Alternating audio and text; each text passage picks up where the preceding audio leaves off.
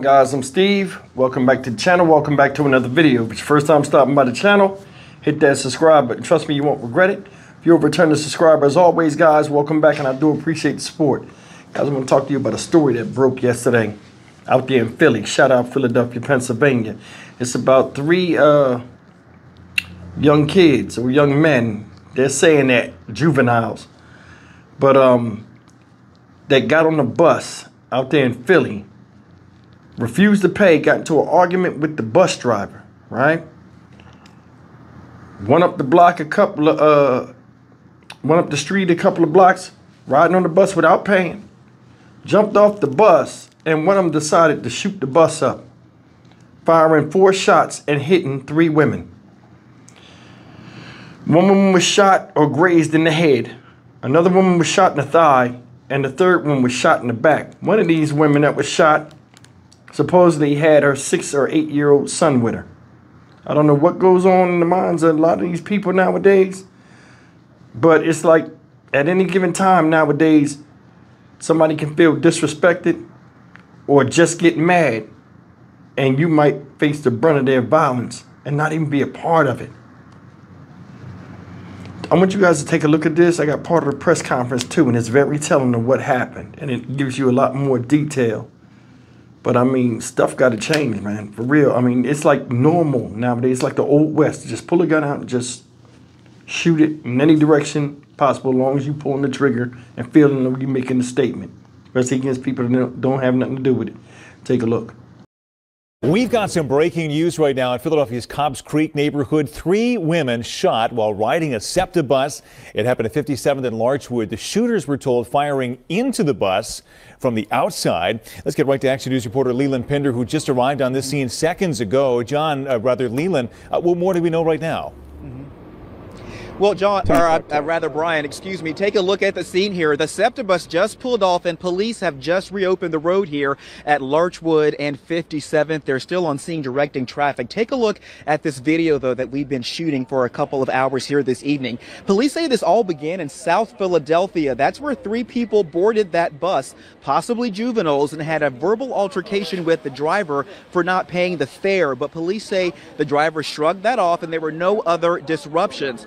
However, a few miles later, when those three got off the bus at 57th and Catherine here in Cobbs Creek, police say one fired into the bus. Those three adult women hit by stray bullets. Now, the bus driver kept going a short distance here to Larchwood and 57th, and that's when police say everyone on board that bus ran. They got off out of fear and for their safety, except those three innocent shooting victims who were taken to the hospital.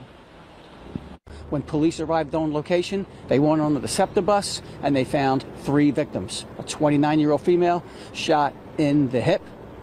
They found a 56-year-old female who was shot in the back and a 60-year-old female with a grazed wound to her head. So three adult females. Police took all three females off the SEPTA bus and rushed them to Presbyterian Hospital. All three of these females are in stable condition. Certainly some scary moments for those victims and everyone else on that bus. Police right now have not made any arrests, but they are uh, working to gain access to video on board the bus and outside the bus to help with the investigation. They also have some other recordings that have already been sent their way. But again, the road here back open, the investigation wrapping up literally just now. Back to you, Brian.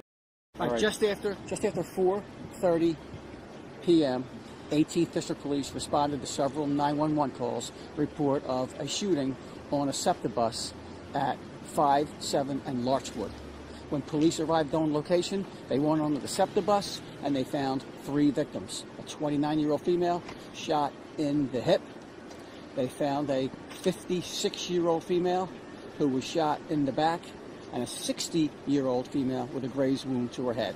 So three adult females police took all three females off the SEPTA bus and rushed them to Presbyterian Hospital. All three of these females are in stable condition. Now, the information we got from witnesses, as well as the SEPTA bus driver, we know that three young males, possibly juveniles, got on the SEPTA bus in South Philly on Oregon Avenue. And when they got on the bus, they had some words with the bus driver. According to the bus driver, they did not pay the fare.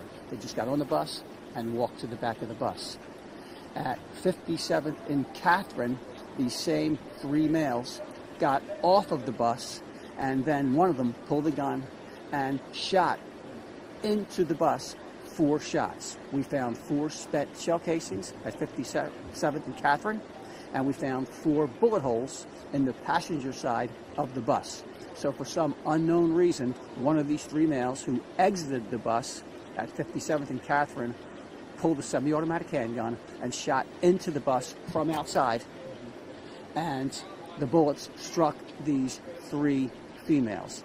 And then these, the shooter and the two males he was with fled on foot in an unknown direction. According to the bus driver, the SEPTA bus was full to capacity with over 50 passengers. Uh, they fled on foot after the bus stopped at 57th and Larchwood, a couple blocks from the shooting scene. The passengers all exited and fled from the bus. The three female victims remained on the bus, and police took all three to Presbyterian Hospital. But according to the bus driver, the bus was filled to capacity. He believes over 50 passengers. Now, we got preliminary information that there was a six year old shot. The reason we got that information, which was wrong, is because the 29 year old female was with her son. And we believe the son's about six or seven years of age. But the 29 year old who was shot in the hip was with her six or seven year old son, but he was not struck by gunfire. So, although four bullets went into the bus from the passenger side, three females were struck by gunfire. We're very, very fortunate not only that all three are in stable condition, including the 60 year old female who was grazed to her head. So she's very, very lucky. But with over 50 people on the bus, we're actually lucky that there weren't additional shooting victims. But four bullets entered the bus. Clearly, there's four bullet holes in the bus, and three females were struck by gunfire. Now, right now, we don't know why the person who fired the shots into the bus, we don't know what motivated that person to do that. When he initially got on the bus with two others at Oregon Avenue, they had some words with the driver. However, the driver pretty much shrugged it off and these three would appear to be young or juvenile males, then walked to the back of the bus, and there were no altercations after that. But for some reason, when they got off the bus a few miles later, at 52nd, 57th, or 57th and Catherine, they get off the bus, and clearly one of the males who was wearing a medical mask, a blue medical mask, for some reason, fired shots. We believe at least four shots into the bus. Now, fortunately, these SEPTA buses have interior as well as exterior surveillance cameras. So SEPTA, they are on location, and we're in the process, our detectives are in the process of retrieving those recordings. And we already do have some good photographs of the shooter and the other two that were with the shooter. We already did receive some good recordings of them. And at 57th and Catherine, where the three got off the bus and fired the shots from on the highway. We're looking for additional private surveillance cameras in the area. But at this time, we have three adult females. They were all passengers on this bus, and they were all struck by gunfire. We believe that they were all struck by stray gunfire. The bus was so crowded, and since the shooter was firing from outside the bus, we believe all three were just innocent victims struck by stray gunfire. They just happened to be on this bus while this individual fired shots into the bus. So the fact that they were all in stable condition, they're very, very lucky, especially the 60 year old who was shot in the head. But hopefully, our cameras, as well as other witnesses, can help us identify the shooter and the other two individuals with the shooter. So 57th and Catherine, not far away, so traveled six blocks until eventually stopped here and they got off? Yeah, the, after the shots were fired, the bus traveled just a few blocks north. And that's when the bus stopped.